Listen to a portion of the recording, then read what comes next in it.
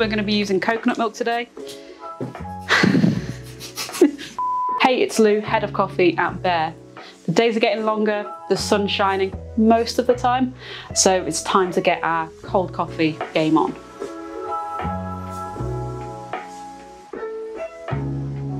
There are lots of options out there for caffeinated cold beverages, uh, from immersion cold brew to Japanese cold brew um, and beyond. Um, we'll discuss the difference in a bit more detail in future content. So Today we're going to be using an immersion cold brew method, um, which is a nice, simple, easy way to brew cold coffee at home without needing too much more equipment. We're using the Kinini Rwandan naturally processed coffee.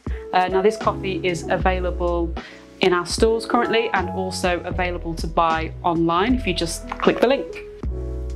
There'll be a link somewhere. Which way will it be? Uh, somewhere. Somewhere. Somewhere, okay. The long heat-free immersion cold brew method will give us a coffee with a syrupy body, low acidity and mild sweetness. This recipe will give us around about 750 ml of final coffee, which will make around about six drinks. So for this recipe, we're going to be using a ratio of one part coffee to eight parts water. And we're going to start with adding the coffee to the vessel we're going to be steeping in. We're going to be using 120 grams of coarsely ground coffee. So there's more information on um, grind size um, and how it will affect your brew. Check out the link in the description to our video um, about understanding grind size. So we're going to be using 120 grams of coarsely ground coffee. Um, as always, we suggest that you grind fresh just before you're about to brew with it. So I'm going to zero the scales and add 120 grams of my coffee into the container we're going to be steeping and brewing the coffee in.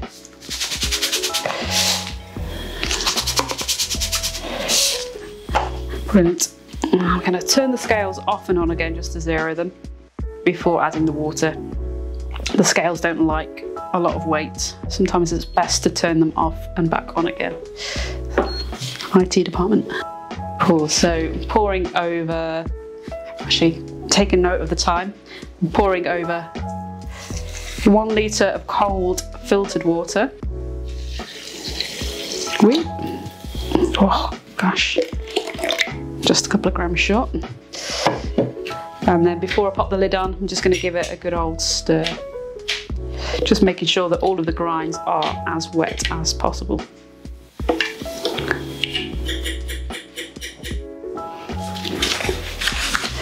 We're gonna pop the lid on.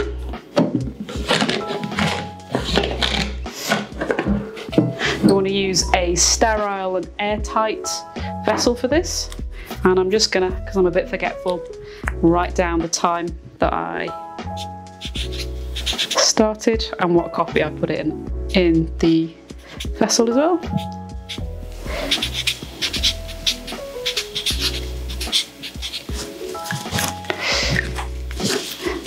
I wouldn't normally be doing it this time of the day.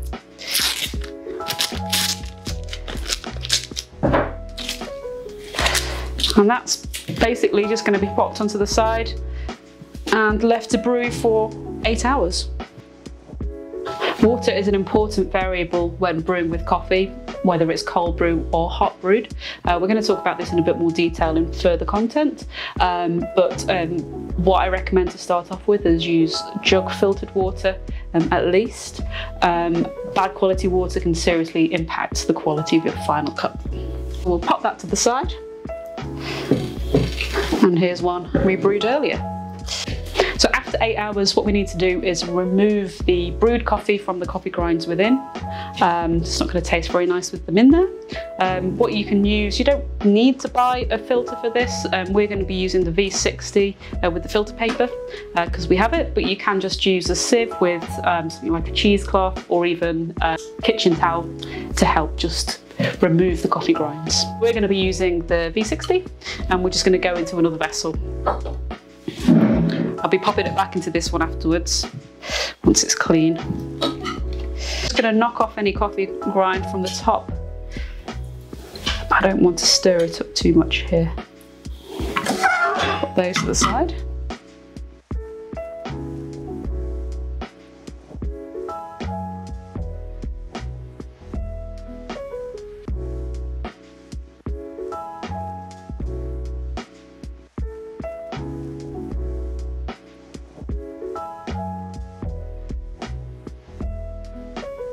Okay, so we've removed our cold brew from our coffee grinds. I'm just going to pop it into a sterile um, and um, airtight container, um, and then it can stay in the fridge for up to seven days, as long as you look after it properly. Pop it in. Pop the lid on.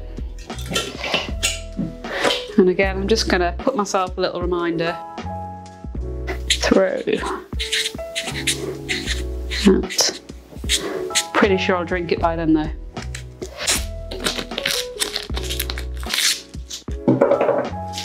Pop. So now our cold brew is ready to drink. Uh, we're going to show you three quick and easy recipes to get you started.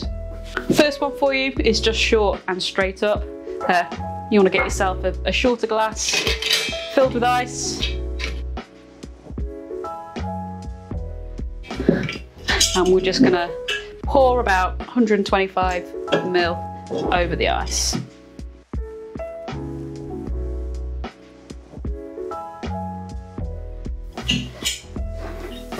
So this one's nice for a short, intense drink. Um, and I like mine with a wedge of orange just to give it a bit of extra pizzazz. Recipe number two is long and diluted. So what we're going to do is, first of all, get some ice into the glass. We're then going to put about the same amount of cold brew as is in the shorter one. Measure it if you want to. You can just go straight for it. You can even spill it on the counter. And then we're just going to top it up with water, which will just dilute it a little bit and just make the whole beverage just a little bit um, less intense, um, a little bit easier to drink. A quick stir with my fancy spoon.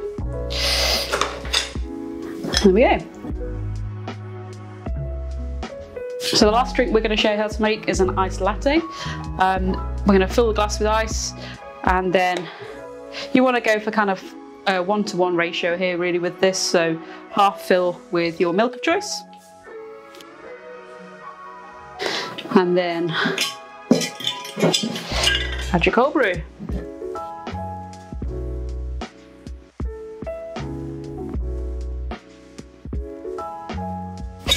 I'm sure you'll be better at pouring than I am. And there we go.